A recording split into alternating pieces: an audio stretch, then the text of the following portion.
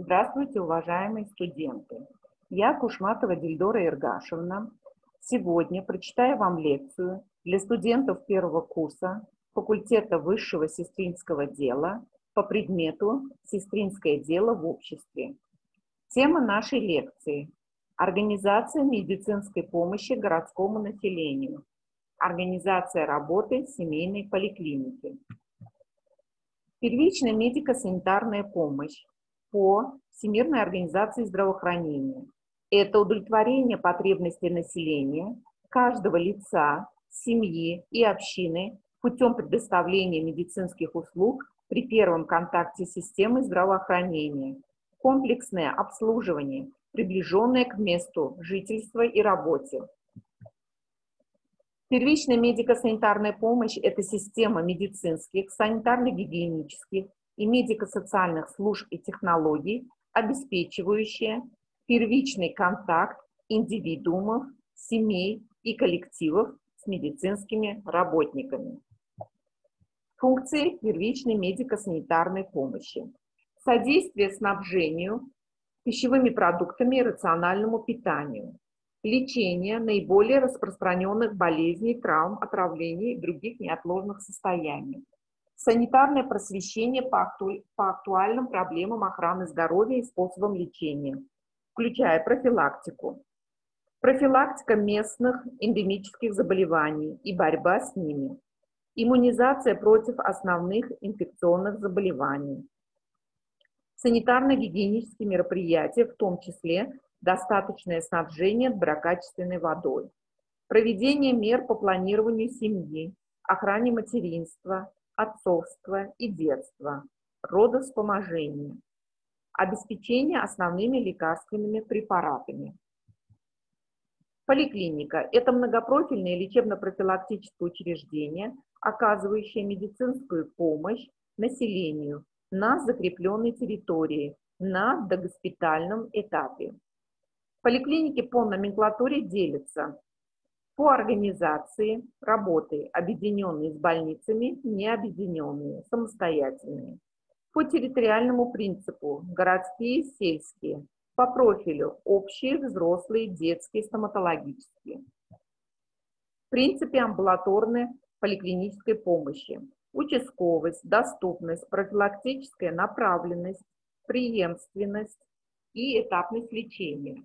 Участие населения, соответствующая технология, межсекториальное сотрудничество и первичная медико-санитарная помощь.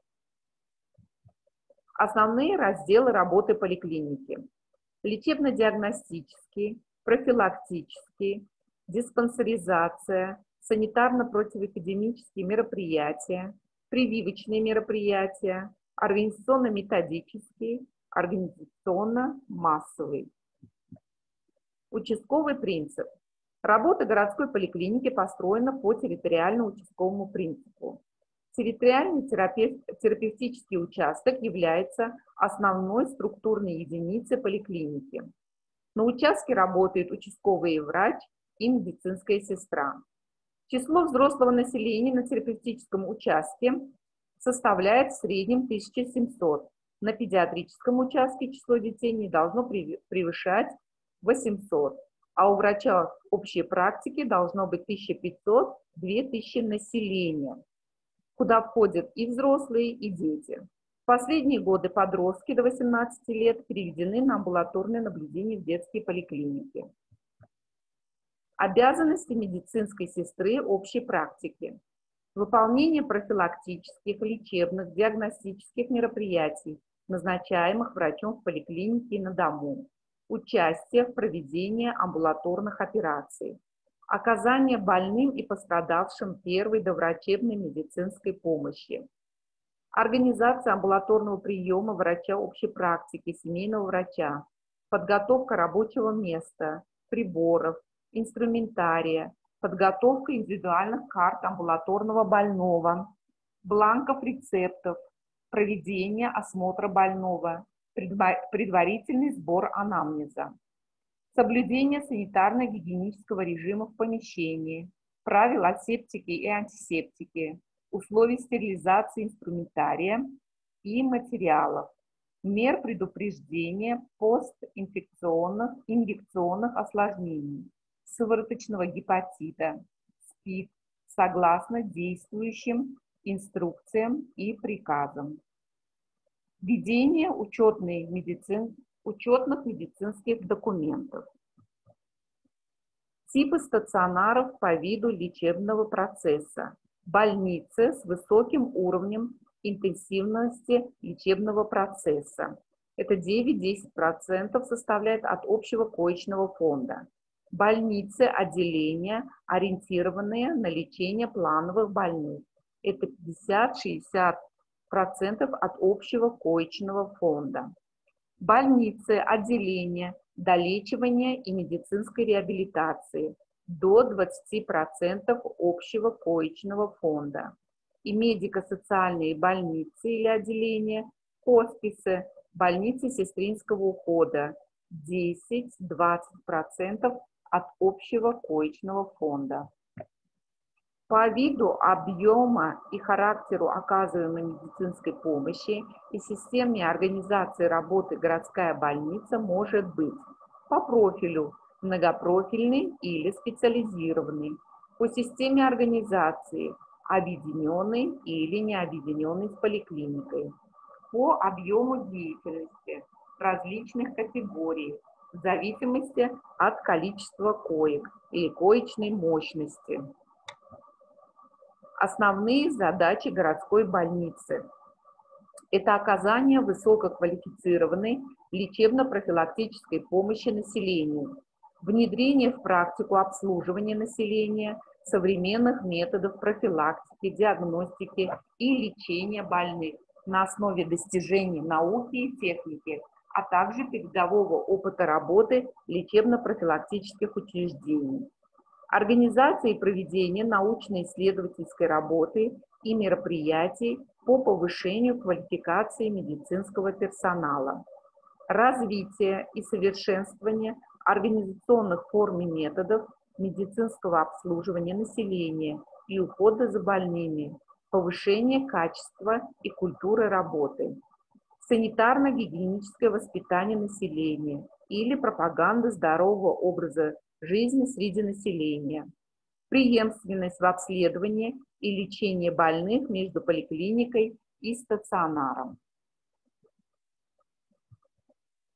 преемственность в обследовании и лечении больных между поликлиникой и стационаром, которая достигается взаимной информацией между врачами поликлиники и стационара о состоянии больных, направленных на госпитализацию и выписанных из стационара, активном привлечении врачей стационара к участию в диспансеризации и анализу ее эффективности, осуществлением специалистами стационара мероприятий по повышению квалификации врачей поликлиник, совместные клинические конференции, анализ ошибок, проведение консультаций и тому подобное.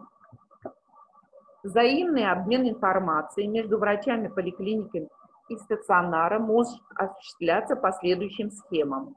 Направление выписки из амбулаторной карты стационар при госпитализации планового больного и выписки из истории болезни в поликлинику направление амбулаторной карты стационар при госпитализации планового больного и внесенной в амбулаторную карту выписки из истории болезни обратно в поликлинику. Заполнение начальной части истории болезни в поликлинике при госпитализации планового больного и возвращении выписки из истории болезни в поликлинику. Структуру объединенной городской больницы входят администрация больницы, приемное отделение, поликлиника с лечебно-диагностическими кабинетами и лабораторией, стационар с отделениями по основным специальностям, отделение экстренной неотложной помощи, патологоанатомическое отделение, вспомогательные структуры подразделения, это аптека, кухня, медицинский архив, а, кабинета медстатистики и так далее, а также хозяйственная часть. Лечебно-охранительный режим – это система мероприятий, направленных на создание оптимальных условий пребывания больного в стационаре направленных на поднятие и сохранение его нервно-психического тонуса и скорейшее выздоровление. Сюда относится соблюдение правил внутреннего распорядка и режима дня в отделении, создание достойных санитарно-гигиенических условий содержания больного, обеспечение рационального, качественного, диетического питания для больных, борьба с болью и со страхом боли, правильное распределение больных по палатам, соблюдение правил медицинской этики и диантологии всем персоналом больницы, слаженная работа всех подразделений и коллектива больницы. Противоэпидемический режим зависит от профиля стационара или отделения и направлен на борьбу с возникновением и распространением внутрибольничных инфекций.